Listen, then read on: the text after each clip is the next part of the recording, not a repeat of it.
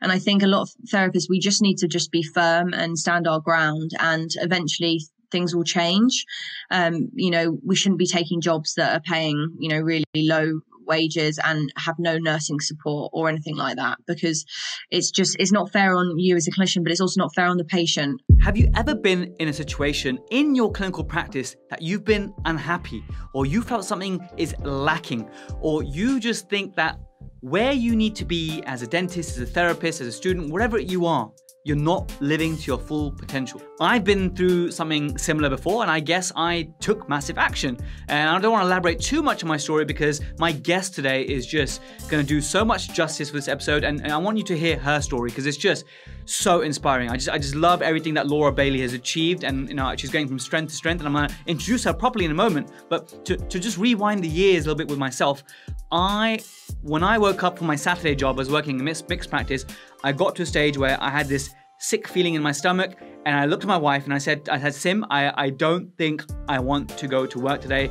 This is something that's I've never felt this way before. I'm a bit of a workaholic and I it just I just felt like it was toxic. Not because the practice was toxic, whatever. It's just that I, at the time, in the system, in the place I was working, I felt that I was just overworked, and I felt as though uh, I was not uh, achieving my goals as a dentist, achieving my goals as someone who loves to learn and grow as a dentist. So uh, at that time, I felt as though I had to take massive action. And I took massive action because I handed in my notice and eventually we moved to Singapore. Like we did something absolutely crazy, okay? So the theme of this episode is to take massive action. Now, my favorite definition of massive action, and what I mean by massive action is to commit to taking action until you get the desired result. Let me say it again. You commit to taking action until you get your desired result. Now, it sounds very easy to do, but how many people think of us about doing something, they toy with an idea, or the risk is too great and they, and they shy away? What I mean is that you commit to something and then you work on it until it gets done, okay? Let me make it even more tangible for you, okay? Imagine you're a dentist who's done lots of courses now in implants, okay? And you're just getting one or two implant cases a month and you're like, whoa, this is, I mean, I've made this huge investment in time. I feel as though implants are my passion and I'm just not getting enough cases to, to actually make it worthwhile. And maybe then you lose your mojo, you lose your excitement, you lose your clinical hand skills that you've paid so much money for on these courses, right? So what are you gonna do? Are you gonna just like uh, uh, you know do like a, a bit more of a marketing campaign, or, or, you fall into a trap of just continuing on and plodding on and not really uh, getting the result you want? For example, Einstein's definition of insanity is doing the same thing over and over again and expecting a different outcome or a different result. So if you're just plodding along and you're not really uh, doing much, yes, you could be doing extra marketing campaigns, you could be um, spending an extra hour here and there doing something, but that's not massive action, okay? Massive action for that dentist in that exact scenario I mentioned, this is just me just making it up, I'm just coming up with some suggestions, is uh, massive action for that dentist would be actually blocking out an entire day in their diary, just blocking out and say, this is for implants only. That's it. I'm not going to see anything else but implants on this day. Uh, and what you would do then is on the first few days where you don't have any patients booked, right? Because you've just implemented it, on that day, you don't start seeing emergencies, you don't start um, going on other courses which are not related to, to implants. What you then do on that day is during that time slot, you work on getting more implant patients in your chair, whatever it is, okay? Whether it's you uh, having to then work on your marketing campaign or you having to uh, speak to local dentists for, for referrals, whatever it needs to be. So either you're treating implant patients or you're working on that goal to actually get implant patients to you. So that is a definition of massive action rather than just um, being comfortable and being doing these tiny little things which aren't going to yield a lot of result. So that is one example, but wait till you hear this next example from Laura. You're to hear it from Laura. So Laura is the therapist that I work with on Fridays. Uh, me and her, she we qualified uh, 2013, so same time. She qualified from from Manchester. I was in Sheffield, and we met uh, at uh, where I work now on Fridays at the Richmond Dentist uh, with one of our, you know, the, the, best people I can ever ask for as a principal. His name is Hap, uh, great guy, really, really forward-thinking, excellent dentist, really high-end kind of stuff.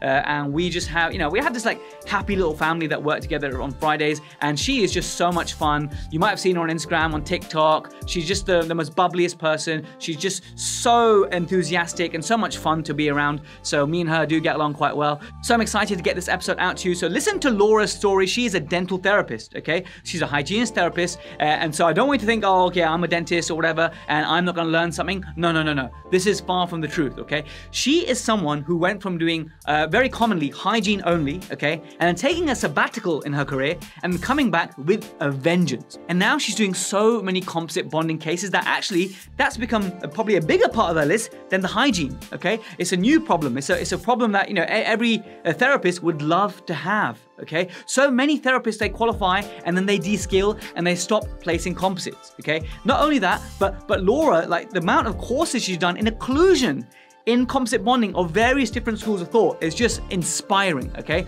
So she has basically taken massive action. So this episode, if anything, I want it to inspire you to take massive action, which is the protrusive dental pearl for today. You need to take massive action, just like how I described. I gave you one example, and now the entire case study of Laura, where you can listen to now, is an example of taking massive action. Take massive action. Today, write something down that you're going to do and you're going to commit to until you get the desired result. Petrus I'm Jaz Gulati, and let's listen to Laura on how to take massive action for success in dentistry. Laura Bailey, my partner in crime, welcome to the Protrusive Dental Podcast. How are you?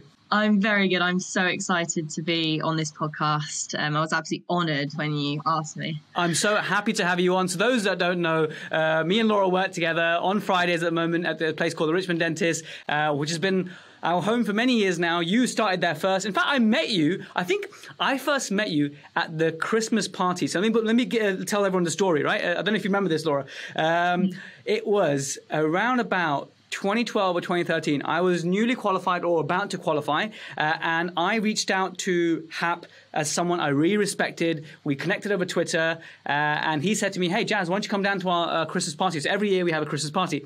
Uh, and then I, I, I, saw you, and we started to talk, and, and you had just recently accepted the job. I think, correct me if I'm wrong in a moment. You had recently accepted a job, and then I found out you qualified from Manchester, I think, and it was roughly the same year. And I was like, "Wait, how you, how did you land working in this lovely private practice?" we were having a, a chat about that. Do you remember that? Have I got it right, Laura? Yeah. Okay. So, firstly, I didn't. I can't even remember meeting you, Jaz. I'm really sorry.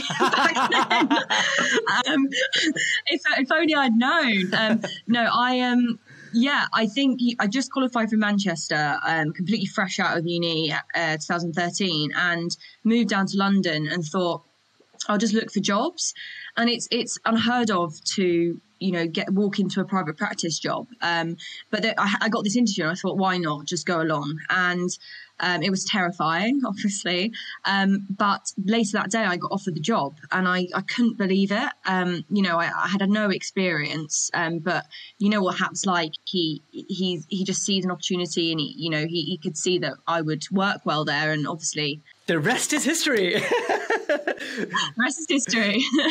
but you know what, Laura, that yeah. speaks a lot about you because you, you say about it's, it's unheard of to you know whether you're a dentist or, or like yourself a, a therapist does you know it doesn't matter which niche within dentistry you're in but you're right it's very difficult to just qualify and expect a private practice role so firstly, kudos to you for even applying. What, what, was going through your mind when you were applying? Like, what would you, at, at some point, did you like not click the send button because you thought, no, there's no point or? Yeah, kind of. Uh, to be honest, I, I, I did think, you know, why would they take me? I have no experience. But I think you've got to think, yes, I've just qualified and there's probably a lot that I have to learn, but I also have, you know, some good qualities in terms of like customer relations and service because I think sometimes we forget that, you know, we're just dent- like dentists or therapists just drilling teeth, cleaning guns, but actually it's so much more than that. It's about building relationships, rapport, empathy.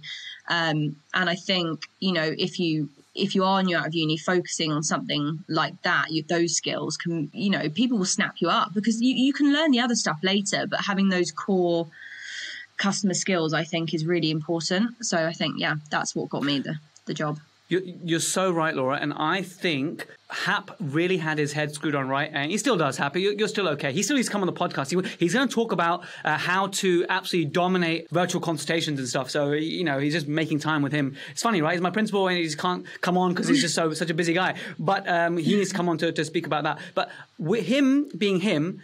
I like the fact that he had this sort of agenda to hire for attitude, right? So he knew that you he was taking a little bit of risk with you, and you know what? He took a risk. He took a risk with me as well because I actually interviewed for him before I went to Singapore, like uh, informally. And I came dressed in my suit, and uh, he was like, "Jaz, this is not an interview, by the way." I'm like, "Yeah, I know, but I still want to make a good effort." And he sort of said, "Look, I'm not," because at, at, the time, at the time, is a one man show. Him and the endodontists, right? Uh, Caesar, hi Caesar, yeah. Uh, uh, and basically, uh, he had never thought that at that time that his team would grow to what it is now. So he's now got uh, three associates, uh, yourself, and we have Lourdes now, so a couple of therapists. We've got uh, Caesar, the endodontist. He's got a big team now, right? So he's doing a lot of the more complex stuff, which is great. And he never thought his team would expand. So at that time, he was the Gill Clinic. It was a one man show and he took a, he saw something in me just like he saw something in you and he took a risk on us. So kudos to Hap yeah. and kudos to any principal out there who's willing to hire for attitude and forget the fact that, okay, this might not be the fully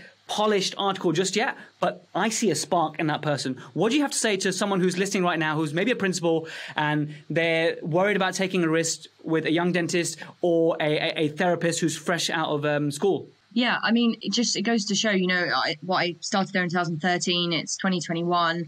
Um, I had a little sabbatical, but apart from that, I've I've worked at that practice. So when you find the right people, work doesn't feel like work. It feels like a little family. Um, and Hap always says that. And I think if you look for, you know, the right traits and you know honesty, humbleness, all of that, I think you can develop that person and almost like a, be a mentor to them. Um, and I think actually, you know, hiring someone straight out of uni is, is such a good opportunity um, because they have no preconceptions and, and, you know, you can really guide them. So I, I would say it's really, really great. You should definitely look into hiring someone. Brilliant. And I think I love working Fridays with you, Laura, because you have such a great energy and I, I love your TikToks. And I think we, we feed, we feed ideas of each other. We do stupid dances sometimes. Uh, and it's just so much fun. And one of the, one of the values of our practice is um, good vibes, right? And I think um, when, I, when I work with you, when I work with Nat, when Debbie's on the desk, Lizzie, everyone's there that day, there's vibe like no other. So I think every practice should aspire to that. Um, what do you think, having been in the industry a while now, when you walk into a clinic, what is it that you're looking for that, that, that can tell a young therapist or a young dentist that, okay, this is the clinic for me? Any, any signs that you've noted that there's a hallmark of that kind of a clinic? Um, I would say, obviously, you don't want, you know, a place that's had a high staff turnover because that indicates potentially problems. Um, so, you know, staff that have been there for a while, um, years. I would say uh, you can tell pretty quickly. It's just uh, it's good vibes. It's exactly that. You go in, you know, the receptionist is really friendly, really lovely, and you know they they ask the right questions of you. You know, yeah, they care. I think I think you can you can just pick up. It's like a sixth sense. But I think the, the biggest thing is the the staff being there for years and being really friendly with each other. I totally agree with you. Staff turnover is a real shame, and uh, and it's one of the reasons I, have said it on the podcast before. One of the reasons I joined that practice recently last year in, in Reading is they had this list on the at, at, the front when I was interviewing of name of every single receptionist and, and nurse and how many years of service they've done throughout practice, and it's like 34 years, 28 years, 24 years, 17 years, 15 years. Like like it's crazy. So that's one thing that attracted me, and I, and I, so therefore I completely agree with you, Laura. Laura. We've taken a little bit of a detour. I want to go back to your journey because I think your yeah. journey is so inspiring. Because yeah. the, the, the moral of your story, I don't want to ruin your story, but the moral of your story is like you don't have to have it all figured out so soon. Because one of the reasons I have you on there is to inspire therapists and dentists because you do a lot of bonding cases, but uh, most of the therapists that I know and work with, and I, I love, uh, there's so many therapists out there I love. Shout out to, to Morgan from um, Bupa in Summertown. I used to love working with you and, and Louise. But but uh, what I find is that a lot of therapists they are in a tough position. Yes, we will talk about the whole lack of a nurse assistance. We'll, we'll, we'll touch on that because I think we should. I think you know this podcast has to touch on that. Mm-hmm. But I think you get into a habit of doing hygiene, hygiene, hygiene, and then the therapy just gets left behind. You don't get to do your restorations. You lose confidence, and therefore you never do a restoration again. Uh, so what I see in you is someone who um, had this interesting journey, which you'll cover now, but it wasn't always you're doing bonding cases. You were predominantly doing hygiene cases. Can you just tell us about your journey and how it evolved? Yeah, so um, came out of university. I absolutely love the therapy side of things. Um, I was doing all these like buccal like restorations, all incisal edges. I, I, I just love the creativity and all of that. Um, and came out and, and figured out that actually the world wasn't set up back then for therapists, really. Um, so got this hygiene job. I worked in NHS practice as well as working at um, a space, and I just felt like I was becoming a scaling machine. You know, there was no scope to do any therapy. Um, it was just gums, gums, gums, and I felt massively out of practice. You know, the thought of picking up a handpiece was terrifying. You know, I had this fear of the pulp, which that's so true. It's honestly because in in my final year at university, I my last case presentation, I actually exposed, and that haunted me. And and having you know not having picked up a handpiece for years and years and years, I thought, okay, well, therapy's obviously not going to happen. And i fell out of love with hygiene because you know it, there is so much you know there's only so much you can learn about perio and all of that. And, and i feel like i want to constantly learn. So i left dentistry basically. I thought i wouldn't come back. That's crazy laura. So what made you what made you finally decide that okay that's it? Yeah. I think it was when i woke up in the morning and I felt like anxiety and stress at the fact that I had to go and do this job and pretend to be happy to patients when I, I wasn't enjoying it. And I just thought, oh, I just, yeah, which sounds, it sounds really like awful um, that, you know, it got to that stage, but it, it literally was, you know, my back hurt.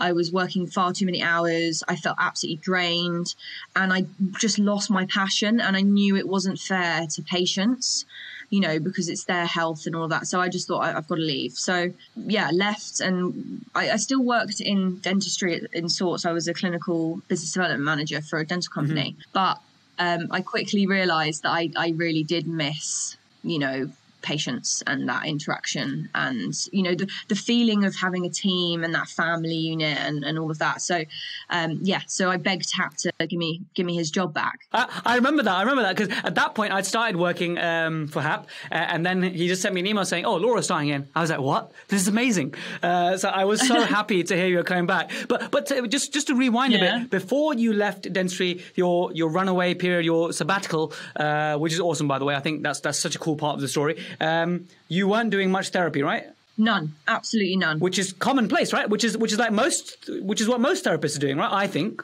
you, are in a better position to tell me that. Yeah. Yeah, yeah.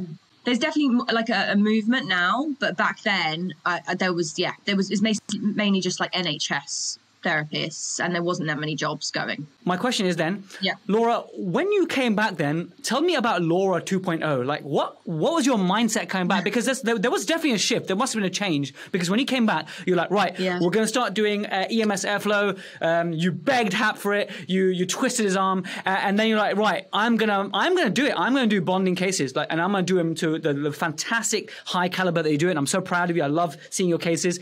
But how can you how can you give this Laura juice to all the therapists out there so they can they can be like Laura? Like wh- what is it? Like how do you bottle that up? To be honest, I think it was you know starting to see the Instagram um, scene. You know, people started to post more stuff. Um, uh, and how you could market yourself and create a business. And I, have always been kind of entrepreneurial, and I thought this is really exciting. Like I want to champion this. I want to. I want to do it. And uh, I think it started. Yeah, it started with the EMS, the GBT, uh, guided biofilm therapy, and I I just thought, okay, if I can solve the part of hygiene that I just didn't like, which was the the mindlessly ultrasonic scaling biofilm that you can't see. If i can solve that and, and make that really satisfying and then then i can go on to maybe implementing some therapy then i could find a, a job that i'm going to be really really happy with for a very long time for years to come.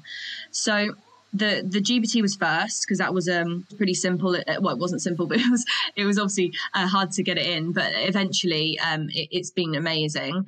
Can, can, we talk about that, Laura? Can we can we talk about the conversations you have to have at work to really get HAP or get your principal to really put their trust in you?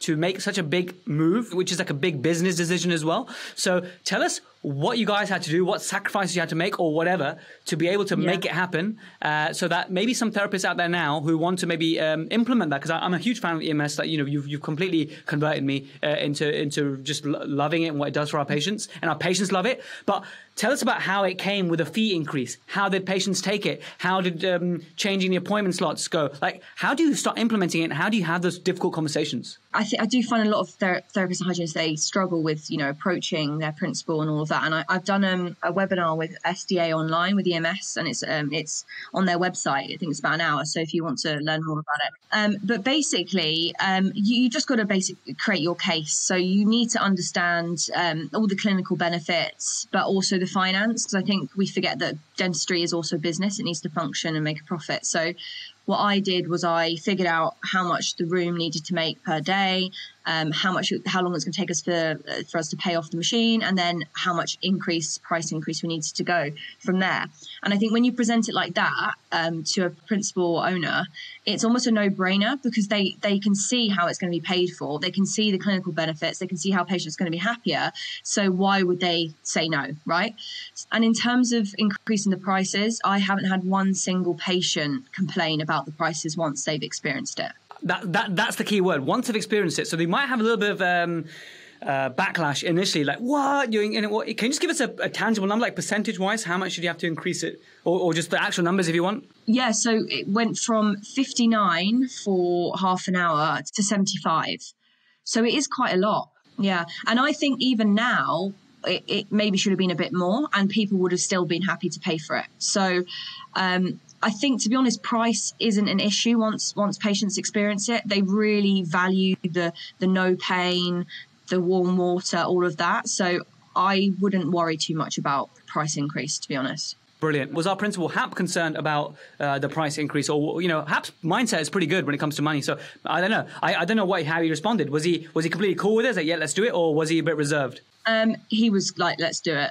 Uh, like I trust trust you yeah, that doesn't surprise. But yeah, you need the principal with the right mindset about money, uh, because as you've seen, the money is sometimes. This is something Hap taught me actually that money is often a problem that the dentist has, uh, and it's not the fee. The fee is something that is not bothering the patient; it's bothering the dentist more than anything. So that's something that Hap taught me actually. Would you agree with that? Yeah, totally. You have to believe in your worth and the fees that you're setting because otherwise, patients, yeah, they sense that you know you're not comfortable with that. When you came back to the Richmond dentist and we reunited, and I've seen your evolution uh, into doing more bonding, which is amazing. Tell us about that. Like, so tell us about how the process started what you needed to do to to get your because I think essentially it's about confidence, right? You had a sabbatical, so okay, you need to come back into it. You start using the EMS, get your hand back into it. But then, what made you do that quantum leap? And it is a quantum leap, right? To go to mm-hmm. actually yeah. outside of your comfort zone to start offering bonding to patients. Tell us about that. Yeah, so it's probably the scariest thing I've ever done. um, you know, it's terrifying. Um, and a lot of it, um, you know, when you're starting out, is faking it until you make it. You know, learning, doing YouTube videos, and but you know, I just I just booked on you know the top three composite courses that I people told me about. I booked them um, within a short, very short period, and I, I'm just I just said to myself, I'm going to do all of that, and I'm going to go out the next week, and I'm just I'm going to get my first patient, and my first patient was my sister. Lovely, bless her. Um, yeah. Um, and then after that, um, I still was a bit nervous. So then I did a competition on Instagram. Um, and this was not only obviously to make awareness of the, my treatments, but it was also to basically do do treatment on a patient that would be happy with anything. really, and that sounds bad, but literally that was that was it. Like you're getting bonding for free. It's it's, it's going to be good. It might not be perfect, and yeah. And I just threw myself in the deep end and just try to learn as much as I could. And I, obviously, there's still so much to learn. Um, but yeah, that's that's what I did. I just I just took the leap. I just took the leap. I love how you took that leap. And the, the things that really resonated with me with that story and things I really want to just um, highlight again and repeat again is the big financial risk you took, right? Initially, that, okay, I'm going to book these three big courses. They're not cheap, right? You must spend, you know, over £3,000 easily, no. right? To, to book these, um, so, and time out of work to book these courses. So the huge uh, investment you made initially. Uh, and you know what? A lot of dentists even um, go on these courses and they don't apply what they know. So A, you took a huge financial uh, risk and you had to risk it, okay? If you don't risk anything, you risk mm. everything. One of my mentors says that. Uh, and then the other thing, which uh, reminded me of a Thomas Edison quote, which is opportunity is missed by most people because it's dressed in overalls and looks like work. Okay. And you got to work, Laura. You, you uh-huh. saw this opportunity and instead of being like, you know what, it, it is going to give me sleepless nights, anxiety, which it does, which it will, you, you really just took it on board and you went for it. So kudos to you. And I love the way you did it in terms of treat someone you know first, treat a nurse, treat a family member. That's a totally cool way to get your confidence level, confidence levels up. You know, it makes so much sense. And I love that you did that. And then you have that competition. That's just genius. It's truly your entrepreneurial uh, side showing there. That's amazing. Uh, anything more to add to that before we talk about then how you went further with that? Yeah, I think probably the, the biggest thing, um, is probably the occlusion side of things. I know, obviously, this is your podcast, um, but um, I think if I could go back, I would definitely learn more about that at the beginning, 100%, because I don't think I was clued up at the beginning and there was lots of like chips and little things that I wish I'd known. Well done for, for telling everyone and sharing that experience because that is so important. And I think you're one of the only uh, therapists I know who've gone on like a proper occlusion course. Um, you know, I'm gonna, I'm gonna put my feelers out there if there's any uh, occlusion uh, courses out there for therapists. Um, if not, then I would love to put, you know, I'd, uh, well, we can do a little tag team, Laura. We can, me and you could do something like occlusion for edge bonding and bonding, specifically for therapists, because um, that needs to be out there if there isn't, if there isn't already. So I think that's such a great point. Otherwise, you will get chipping. So you need to uh, appreciate that. So tell us about which occlusion courses you've done and which other courses that you found helpful in your journey to be able to provide uh, bonding to the level and the quantity that you do now. Yeah, so I think um, so. My first course was the mini smile makeover, course uh, with Dipesh Parmar. Um, that was amazing. It probably was a little bit out of my depth because it was the first course and they started t- talking about, you know, opaquers and tints. And I was like, Whoa! but then also like really, really excited. So um, uh, probably that, that probably should have been my second course. My first, my second course after that was um, Monik's Totally Composite. Uh, the two get two day course. I really liked that. Uh, that was fantastic because it included posterior as well. Um, and then Smile Fast, which I'm a big champion of um, because they have so much support for therapists in terms of the, the design stage. So I think that's something that, um, you know, therapists might struggle with a little bit because, you know, we have to be able to offer the patient all the options. I can't say to the patient, I'm offering you composite bonding because that's all I can do. Mm-hmm. You need to know, you know, is this patient an ortho patient? If it is, I can refer you. Um, so SmileFast have that system where you basically get told, you know, what's appropriate treatment. So that was uh, one of the best courses. Um, and then occlusion, I obviously did your occlusion 2020 which was an absolute marathon. Um, and then I've done um, Raj's uh, occlusion day, and that was so intense. Like, I I never heard the word like centric, like occlusion, uh-huh. all these things, and he and he's just throwing it out there, and I was just absolutely mind blown at the end of it. So that was fantastic. I learned so much about cases, red flags, because I think that's something that maybe therapists don't know enough about is mm-hmm, occlusion. Mm-hmm. Um, you know, picking up cases that you maybe shouldn't be treating, you know, full mouth rehab, stepped occlusion, all that stuff, Tim, TMJ disorders. So I think um, that was fantastic. And then recently I, am doing a postgraduate diploma in uh, restorative aesthetic dentistry for therapists um, with the Smile Academy. Oh, so how far, how far into that are you now, Laura? Yeah, so I, I, we just did our fourth day. Um, I think we've got 10 over the course of the year. So, and we just did our occlusion course last weekend, which was amazing. We learned how to use face bows. Amazing. Do you guys know any other therapist who does this level of courses? I don't think so. So it just shows, right? This is why Laura um, is doing what she's doing. Uh, I, am gonna, I'm, I'm, gonna really champion you, Laura, because I, I love what you're doing. And I think it, it, t- it took some sacrifice. It took, took some risk. Okay, um, you are a risk taker. You are someone who's an action taker, uh, Laura. I mean, it's, it's clear to see that you are someone who takes massive action. Whether it's I've had enough, I'm leaving this profession, to I'm coming back, but I'm coming back with a big vengeance you make big decisions. And I think the the key takeaway here is if you're not happy with something, if you're if you're struggling with something, if you're waking up thinking, you know what, is this really what I'm doing? Then take massive action. Whether it's finding something else or going, finally making that decision that, you know what, I'm going to do it. I'm going to take a huge risk and go on these courses to upskill and then start offering this to my patients. Because that's really the, I didn't, I didn't actually title, a, a lot of podcast episodes I title before I uh, record them. Your one I left open because I really want to see which direction is going to go in, but it's been so inspiring. so I know I'm going to have a, a, real fun time thinking of a really apt title for you. Um, is there anything you want to add to that, Laura? Because the next theme I want to touch on is just before we um, wrap up is about the whole nursing situation. But anything you want to touch on that for the regarding the bonding side? Yeah, I would just say that you know you can never learn enough. I definitely think, you know, whether you're a dentist or a therapist, I think therapists, you know, we, we're trying to fight to be recognized. We always have. So I think, you know, the more knowledge you have um, and the more you work with your team as well, you know, Jaz, you're so helpful. I know I can always just walk into your room and say, hey, I've got this case. Can we work together? Or is you going to need suggestions? I think being open and having good relationships with your colleagues and, you know, good teamwork is so important. I, I I know that I, you know, I need you guys, um, not only just for prescription, but also for your knowledge and all of that. So I think it should always be teamwork um, not just me solely working by myself because I'll never know enough. I'll always have stuff to learn. That, that's so, yeah. the right attitude, Laura. And I think um, you know you're right. We I think we do have a nice support network. Sometimes, and I've got like a ceramic veneer case coming up, really complex uh, orthodontic case. I might just pitch it to Hap, like Hap, am I going the right way? Um, equally with you, we, we talk about bonding cases, uh, we talk about perio cases together, and so it's so nice to have that support network, uh, which is so key. So if you're if you're working and you feel isolated, um, then then find us, and that's support network doesn't necessarily have to be at the workplace. If you don't have one, um, there's so many online communities. If you want to join our Telegram group, we've now got the Protrusive Dental Podcast, the Protrusionality Telegram group, which has been amazing. Like someone at like 2 a.m. asked a question about caries detection dye, and by 5 a.m. we have like five different like opinions on it, like just like that. Um, so it's really cool to have a, a support network like that. Uh, Laura, tell me about what is the situation nowadays with the whole nurse thing? Like, I just found it shocking when I qualified, and you know, year by year by year, that hygienists, therapists are working alone. Like, how are you even supposed to think about implementing EMS,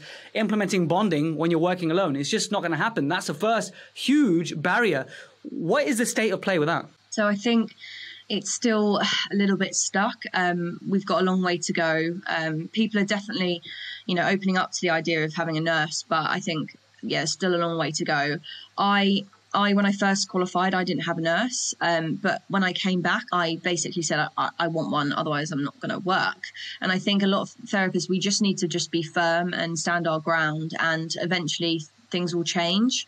Um, you know, we shouldn't be taking jobs that are paying, you know, really low wages and have no nursing support or anything like that because it's just it's not fair on you as a clinician but it's also not fair on the patient. Um, I, I worked the other day i think one of our nurses turned was was sick or whatever so i ended up working the day without a nurse and i was exhausted. I couldn't I couldn't write my notes up properly because I was too busy cleaning. I was too busy cl- cleaning instruments. Like you you need to be able to focus on the patient and the only way to do that is to have nursing support. Um, so yeah, I, I think it has to be a must. You're right. Last Friday was really tough actually. So one of our nurses, um, she had um, a flooding in her kitchen or something like that. So uh, we are like, she's coming, she's coming, oh, yeah. she's coming. Uh, and I bless you, you had to sacrifice your nurse to come to me because I think she was supposed to, so thank you so much. But yeah, you're right. You know, everyone should have a nurse, and uh, we can't possibly tackle that um, in this episode. But maybe this episode will help to change the mindset uh, of of some principals who want to be forward thinking, or of some therapists. Maybe what you've done here, Laura, is giving them that spot spark to, to help them, to give them that confidence to, to stand their ground.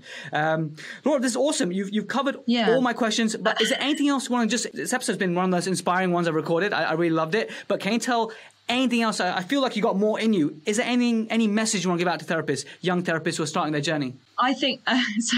This is some, something that I did when I first decided to put myself out there. What you do is you, you you're speaking to a patient about you know you know an issue they might have. You know what they want their teeth whiter or they want something changed and you have the conversation with them you, you t- talk them through some of the options and you, and you tell them that you'll write them a treatment plan you take photos whatever and then when the patient leaves you go oh my god now i've got to learn how to do that. Because what you what you do honestly what you do is you basically set yourself here and then you give yourself two weeks to learn how to do it. And then that's how you learn and grow because that's the only way to keep adapting because otherwise i wouldn't have done anything. You know when i first did um you know three to three there's I was absolutely terrified.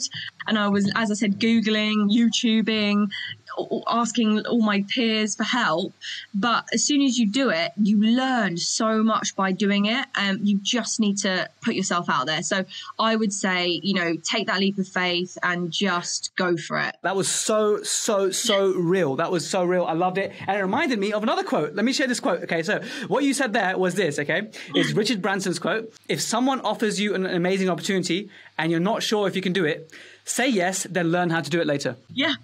Like it's not like you were doing stupid stuff, but it's stuff that you had, you've been on the courses and stuff, but it's the first time that you're going to do it, wherever. But you say yes, but then you figure it out later. Yeah. And in the same vein, I'm a big fan of, and this, uh, this whole episode come about courses and stuff. I get asked by dentists all the time, like, which courses I do, blah, blah. So the, the main thing I want to, message I want to get out is the following, that with the courses, there's something called just-in-time learning, because I know that I, there's so many things I want to learn out there. There's so many things I don't know and I need to learn, but I can't just like randomly wake up today and be like, okay, today I'm going to learn about uh, improving my uh, root canals for curved teeth.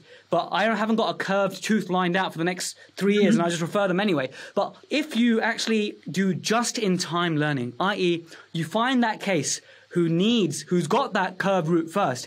And then you say, okay, is this pushing it too much or is this slightly above my, beyond my comfort zone? If it's slightly beyond your comfort zone, you say to the patient, we can go to the specialist, but I'm happy to give it a go as well. And if the patient's happy, then you go about, okay, speaking to mentors, speaking to endodontists, call Amar Al-Hurani and ask him about curved molars, that kind of stuff. And then you give, give it your best shot.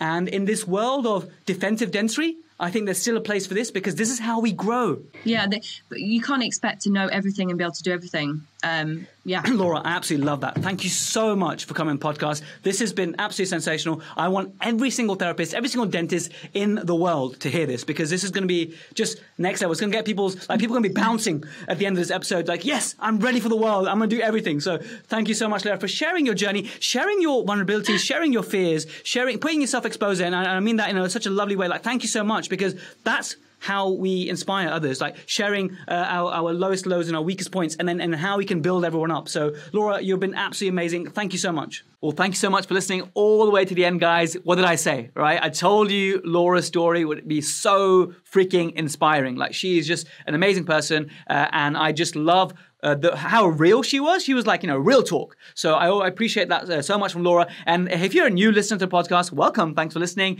If you're already one the Protruserati, thank you so much for returning time and time again. Make sure on our Facebook group, the Protrusive Dental Community, we also have such a thriving Telegram group. Initially, when someone suggested about having a WhatsApp group, I had my reservations, right? I was like, well, I just don't want it to be like one, another one of these groups where the people are just spamming the whole time or one of these dead groups where no one actually talks or whatever. Uh, and I had my reservations. Uh, and then I made the WhatsApp group and it got completely oversubscribed. So now we moved to Telegram, right? So if you want to join the Telegram group, go to protrusive.co.uk forward slash Telegram, okay? And make sure you actually have the app Telegram, download it, okay, obviously. Uh, and then that will take you to my group and you can join it. Uh, and it is amazing. There's about, you know, 270 of us at the moment and such an engaged group. People are just asking random questions and everyone's so helpful. So the reason I think the group works so well is that we have people who are cut from the same cloth, people who are just passionate about dentistry and just want to help each other, the kind of person who listens like you to this podcast. So um, join the Telegram group. And one more favor, please, is if you listen on Apple, would you mind giving this a rating? Okay, just give it a rating, give me some feedback, and leave a comment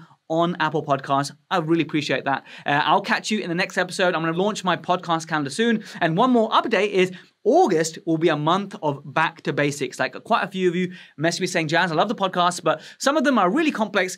Can you just dedicate uh, some episodes to back to basics? So we're going to cover perio, the basics of perio, basics of occlusion, treatment planning 101, and a few others, and like the fun, something fundamental like when to actually restore or when to actually drill a restoration. What actually defines leakage in amalgams? At what point should you say, okay, this amalgam has failed and this amalgam is doing okay? Something so fundamental, but something that uh, is so open to debate amongst different dentists. So I've got a really awesome dentist coming on for that as well. Anyway, thanks for listening all the way to the end, and I'll catch you in the next episode. Same time, same place.